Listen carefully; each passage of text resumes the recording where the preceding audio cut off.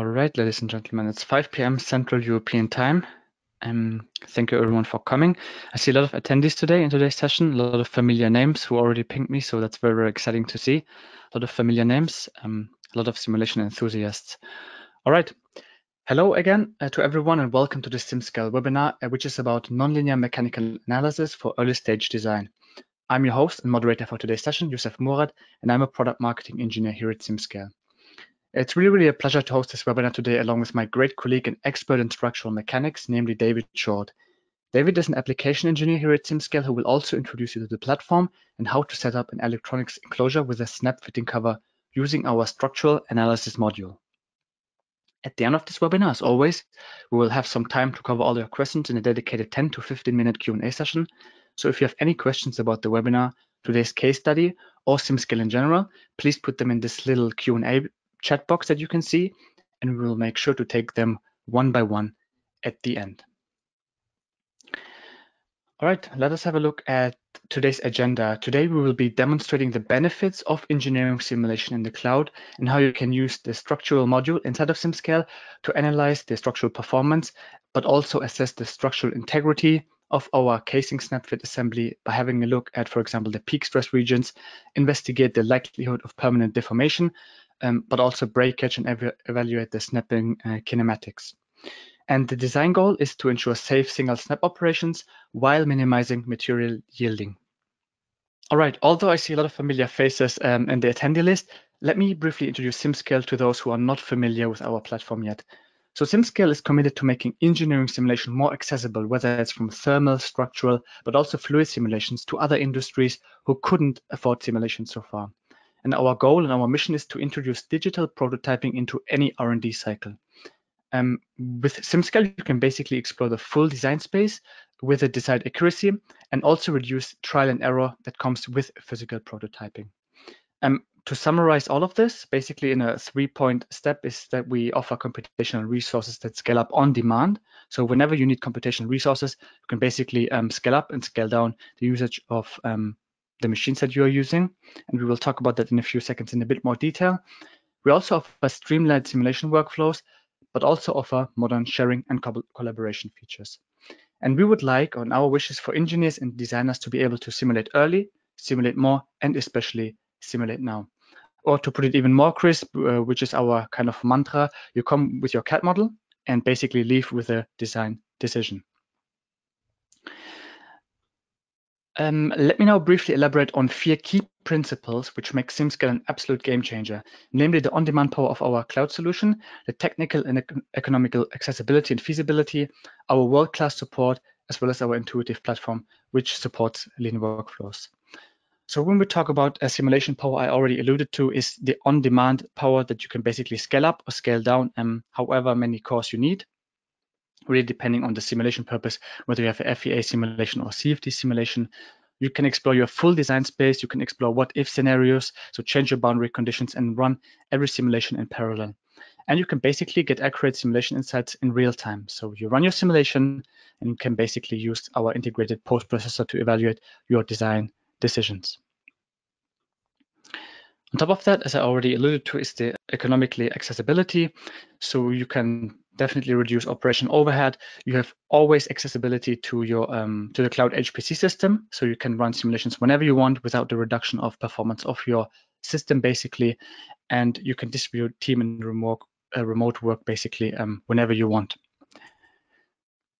Also, we are very proud of our support team. So whenever you run into trouble with your simulation, our support team is here um, to help you. We offer things such as um, simulation templates that you can use, which you can basically copy into your own dashboard and see how our experts have set up the simulation and then can get started with um, setting up your own simulation, um, change the boundary conditions, and so on and so forth. Last but not least, um, let's talk about the intuitive interaction and also lean workflows.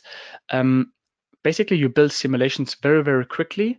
And as I already mentioned in the first point is that you can um, evaluate your results in SimScale's integrated post-processor. And this also results in faster onboarding and training times for your teams.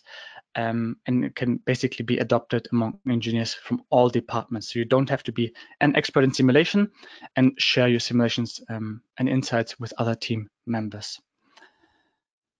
And with that, I would like to now hand over to my colleague David Short, who will introduce the case study.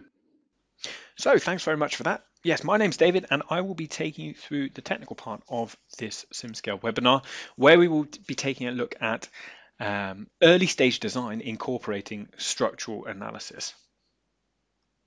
So a little bit about the project before we get into it. We'll be taking a look at an electronics enclo enclosure that uses a snap fitting cover um, and it's really beneficial to use structural analysis as part of the design process here um, to, to optimize the actual snapping operation. Now, our results of interest that we can use to make design decisions uh, that will be output from our simulations will be the peak stress regions.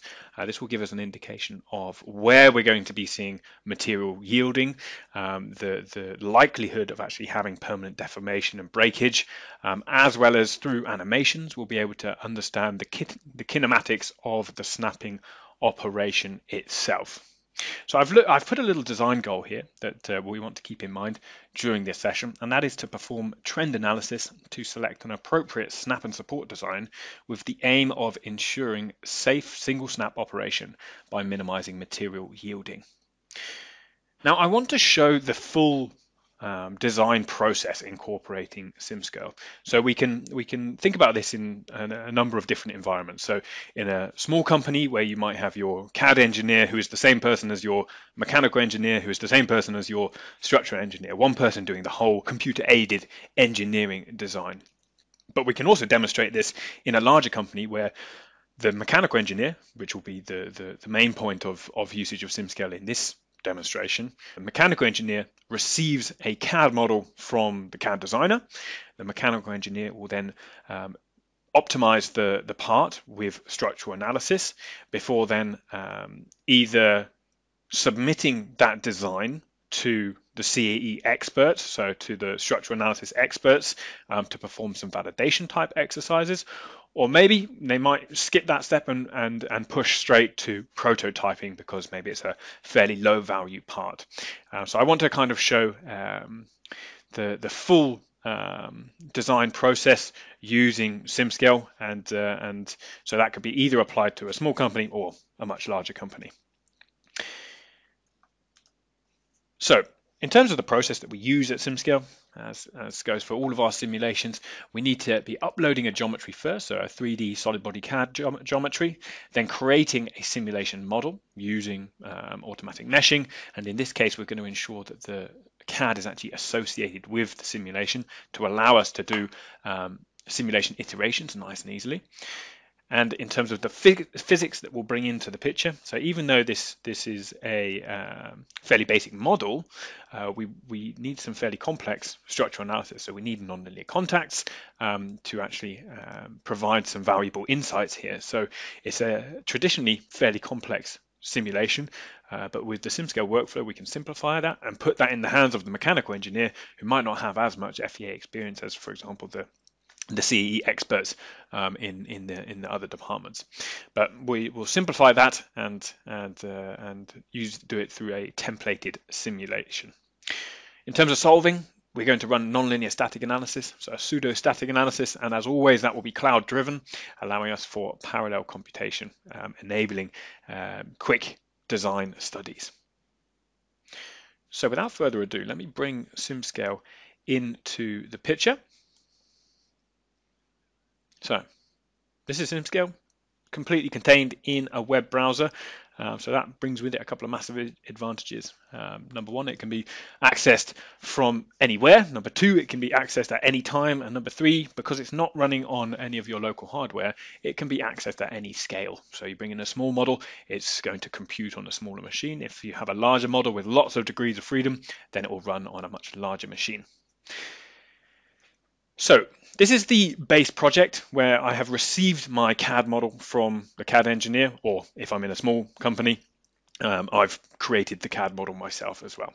Uh, but we'll, from this point on, we'll, we'll take the, the, the, example of working in a larger organization where we've got a CAD department, we've got a mechanical engineering department, and we've also got a, um, a CAE team, so a simulation department. Um, so my job as the mechanical engineer is to optimize this geometry using structural analysis uh, before I then submit that to either the CAE team or to prototyping. So this is my original CAD geometry. Now I've got myself here a simulation template, which has been either developed by SimScale or by the, the, the simulation experts within your um, organization. So all I need to do is then use my simulation template and apply it to the original design. So we can apply it to the original design here. And this is a non-linear static analysis, as we can see here.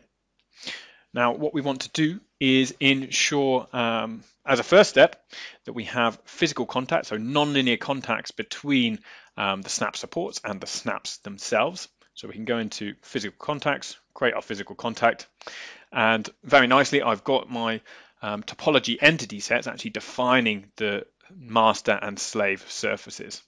Okay, so I can select my master surfaces here, can select my slave surfaces under here. There you go. Apply them to the slave surfaces and thus defining our non-linear contact. Now the nice thing is, uh, once we've done this once, we've got topology entity sets, we only need to do it once because we're going to have CAD associative um, simulation if we make any design changes. So we've got our nonlinear contact in here in place, and then we can define the materials that we're going to use for our initial simulation. So I've loaded a few different material options into the into the simulation template. So the design engineer, the mechanical engineer, um, can choose from those different materials. So let's use APEC for both. So that's um, a, a, pure PC um, material, uh, plastic, and uh, and uh, then we can use both of those as our initial simulation setup. Now, in terms of actually setting up the physics of the the structural analysis, I've got some boundary conditions already in place here, and I just need to assign those to the relevant topology entity sets. So my fixed support, I'm going to fix this surface down here. I'm going to enforce displacement of the lid itself. So with my displace um, entity set over here. And then I want to enforce the symmetry conditions as well. So we've got symmetry in the X direction and we've got symmetry in the Y direction. Okay. So that's that all, all there is to it um, in terms of setting up the simulation based on a simulation template. Um, all the other things will be taken care of by default, so the meshing settings um, and the, the simulation control and things like this. So for those initial simulations, you can just go ahead and use the, the, the settings that have already put been put in place in the template. Uh, what I'll show you later on in the session is what the um, CAE expert might do in terms of uh, validation uh, type exercises as well. Uh, one thing I did forget to do is actually add some result control so I can measure the insertion force. So the insertion force needs to be measured on the same um, surface that we're, we're enforcing the motion. Okay. So in terms of meshing, the simulation will be meshed with the um, with automatic mesh settings like this. This one's already meshed because I've already run this simulation so that we've got some results to look at as well. Uh, but using this template, we will see this being applied to a new design in, in a few moments as well. Uh, but this is the, the default mesh that, or the mesh settings that we're going to be using. Um, so keeping things nice and simple, solid body elements uh, with um, a good number of elements across the thickness of all the parts uh, with some extra refinement down on the contact surfaces themselves. Okay, so then we can go ahead and run our simulation. Okay, so we've got, we'll call it original, and we can start it up. Okay, so we're running our simulation here. And now we can actually have a look at that simulation already that I've already run. So that took an hour and 40 minutes to to complete, and uh, we can take a look at the, the results here as well. Okay, so if I post-process the results, we can go in and create a quick animation to understand both the kinematics um, as well as the, the actual um, stress that we have in the model. Okay, so I've got my maximum um, stress here as 68 megapascals, which is actually the yield stress of the APEC material. So we can create our animation to see how this thing then operates.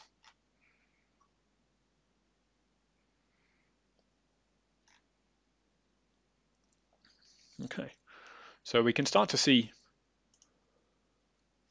a pretty good amount of detail already in terms of the actual snapping kinematics that we have here and the the the, the movement of the casing as well. Let me just make sure that put that on yield. Okay, and we can start to see then the build-up of the, the stress that is above the yield stress. Um, to make that even more visible, it's quite nice to use an ISO volume here, where we go 68 as our minimum to whatever we have as our as our maximum in there as well. Bring our transparency down and then create another animation. So then we can see the build up of those areas that have stresses um, higher than yield stress. Now, if we jump to, to, here, we can see that we've got a pretty unacceptable amount of yielding uh, going on in the material. Um, so we need to start thinking about how we can make some design changes um, or use different material selection to optimize the the um, the design here and minimize the chance of failure during that single snap. So we want to really make sure that you don't have yielding across the whole thickness of of, of thin parts because uh, then we're definitely likely to see some damage. Now we're only using linear elastic material here, so all we are doing is identifying regions of possible permanent deformation. We are what we are not doing is um, computing exactly what that permanent deformation is.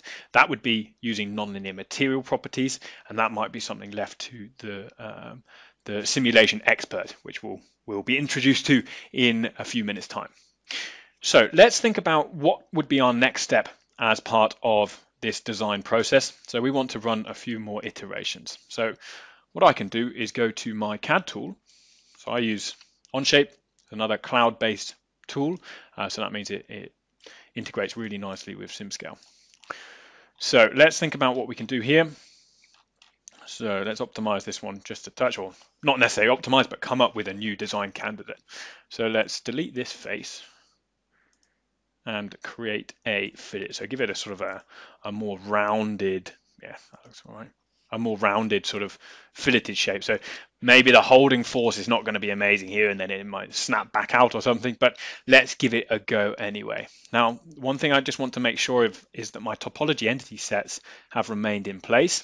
So I can head over here and just make sure that my slave surfaces on the uh, on the snap supports themselves actually include this new fillet surfaces as well, which it doesn't. So we've got to make sure that we have um, that last surface included.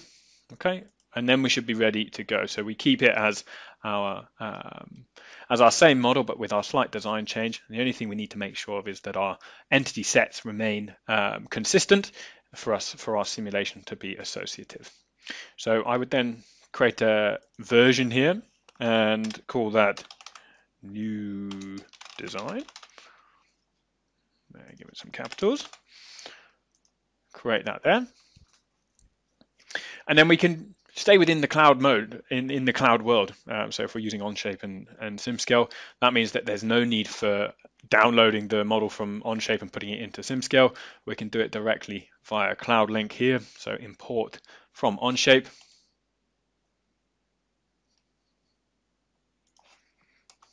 So just need to find it. There's my enclosure design. And there is my new design version. Okay, so we can import that into SimScale. And then we can apply our same simulation template onto our new geometry. Okay, so our new design has come through. Okay, so now we can use our simulation template and apply it to the new design.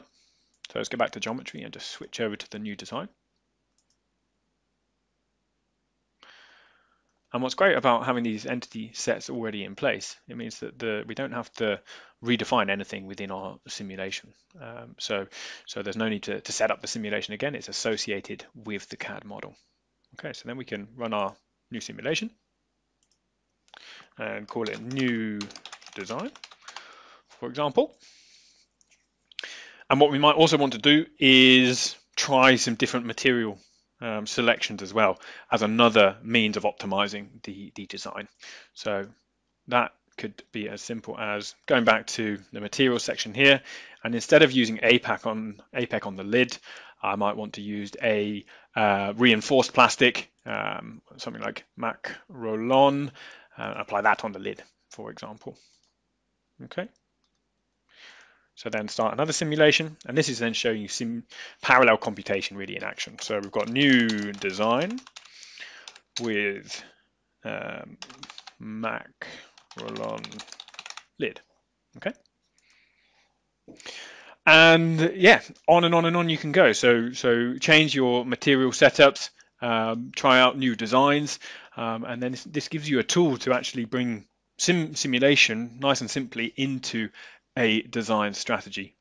It takes a little bit of time to set up up front, so making sure that we have a CAD model that's going to be associated with our simulation. But once that's done, it allows for quick iterations um, and the ability to actually um, get as much value out of parallel computation as, as humanly possible. Okay, so let's go back to the slides just for a sec second um, to have a look at some of the, the design insights that I've got out of um, this project. So.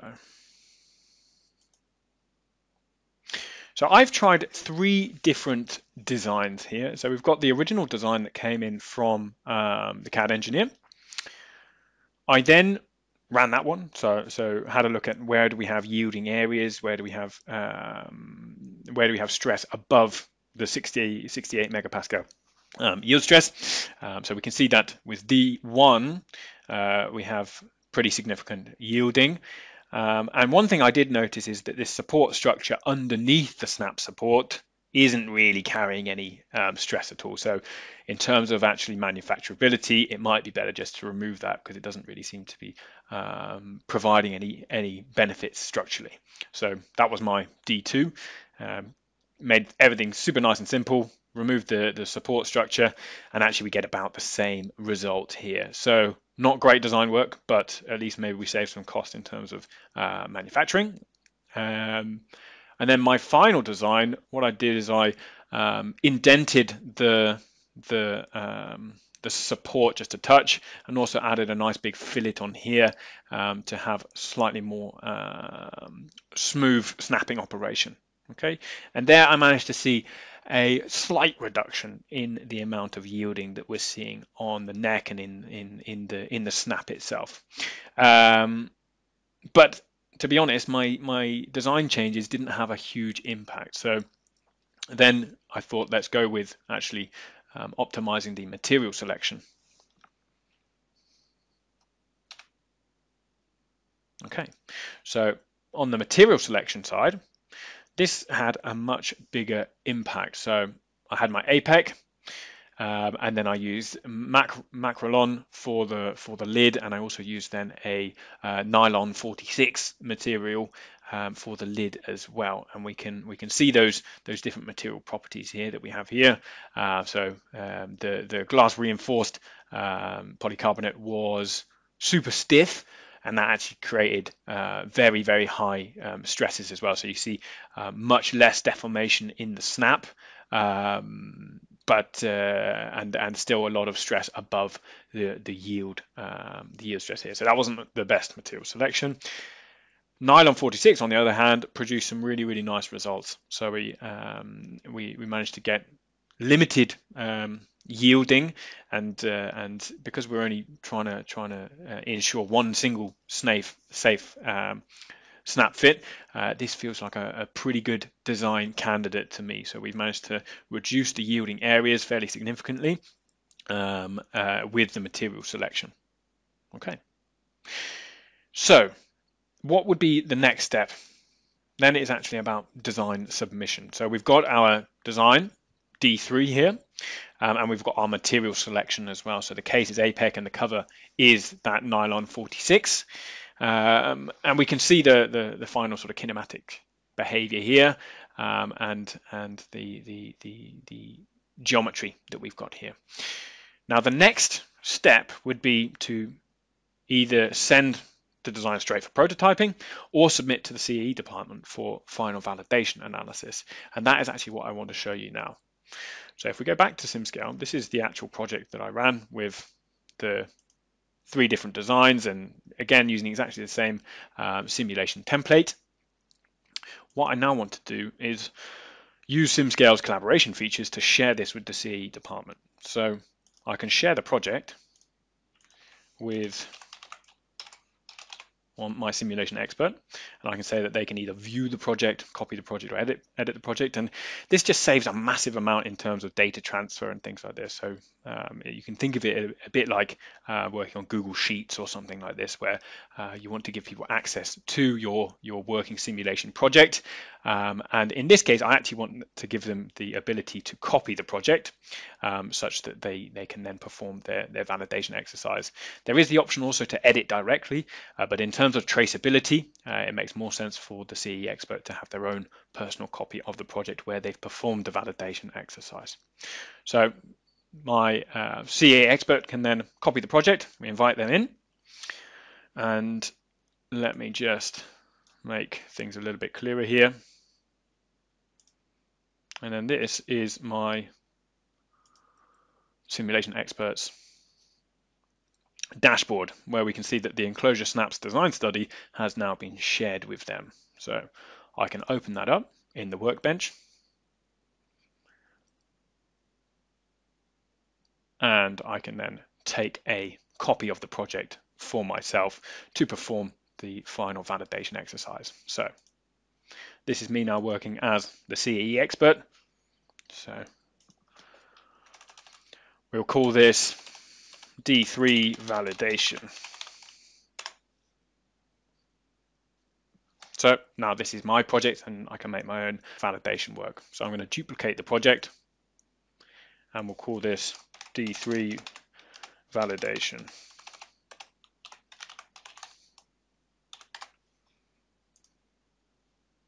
Okay, so I have my um, project in exactly the same format of, as what was used in the design study, I may now want to increase the complexity. Okay, so under materials, um, I may want to check really how much permanent deformation we have and use a nonlinear material um, material model. So here I can switch to an elastoplastic model and actually upload a um, a, a fully detailed stress strain curve of the experimental testing of the material itself so that then we can really see what are going to be the absolute peak stresses as well as the amount of uh, permanent plastic deformation in the lid part to make absolutely sure that we are that we're going to have safe um, single snap operate operation for example. So under here we can then upload a CSV file of our experimental data. And and yeah the only other thing I might uh, think about doing is running a mesh convergence study. So rather than just using the single mesh settings that we've had in uh, defined under here, we can go and create some additional meshes, uh, maybe use second order elements, um, increase the number of elements across the thickness um, to, to actually run some additional um, meshes and then we can simulate all of those different meshes with the with the simulation settings at the same time and check for uh, mesh independence in the results as well. Okay, so back to the slides and I'll summarize before handing back over. Okay, so what have we had a look at today? So we've had uh, we've gone through early stage design of this this enclosure casing. Uh, we have incorporated simulation usage into that early stage design. We've tried three different um, design candidates in terms of the snap support. And we've also um, optimized material selection as well. We've come up with our design candidate and then submitted that to the um, simulation experts or directly to prototyping, whichever way your company wants to work. Um, that's absolutely no problem at all. Okay, so hopefully that's given you a little bit of an insight into um, a couple of the different sort of modes that SimScale can be used in, and and certainly gives some insight into into um, the ease of use and and the value that you can actually get out of this tool. So without further ado, I will hand back over now. Thank you very much for listening. All right, excellent, David. Um, next steps would be that you can reach out to us and book a demo on simscale.com or contacting us directly at sales at simscale.com, and my colleagues will then reach out to you. All right, I've seen one question coming in regarding the boundary conditions and the setup of this case. So basically what you can do is define the uh, movement of the of the snap fit by uploading a CSV file or defining it by a formula, um, how you basically want to the part to move. Um, let me check other questions that you might have in the meantime. Uh, other questions are related to CFD, which is not part of this webinar right now. I've added um, David Short's email address in the chat. So if you want, feel free to reach out to him if you have any additional questions on other subjects. Um, but for this structural webinar, I think we can wrap it up. Um, if you want to watch more webinars and attend more webinars in the future, feel free to visit us at simscale.com slash webinars minus workshops um, for more upcoming webinars on CFD and FEA. And yeah, with that being said, thank you so much for attending. I wish you a nice afternoon, evening from wherever you're watching us right now, and goodbye.